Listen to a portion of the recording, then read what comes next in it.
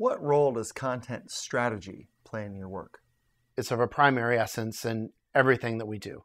And by that, what I mean by strategy is um, VH1 is obviously, as of right now, a television network primarily. That's where um, advertisers pay us. That's how we make our money. That's where we have our largest viewership.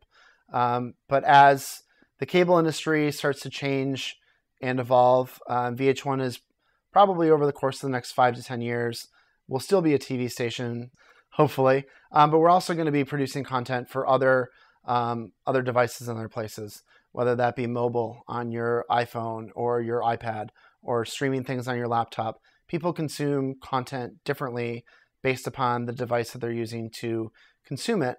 So when we're putting together um, ideas for content, when talent is coming in, we discuss lots of different ways that we can package information for different types of audiences based upon how they're going to be consuming it.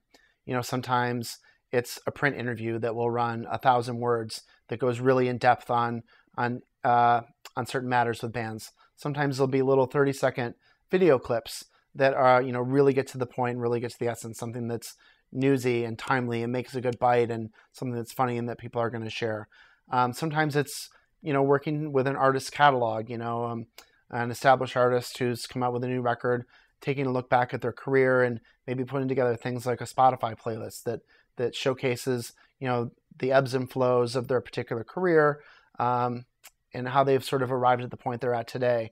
So we look at, at content not just in a very we're talking to this um, particular artist and it's going to be an interview. As we're developing the strategies for our interviews, we're really cognizant of the ways that we're putting, we're actually going of package that and release it out to consumers at the end of the day.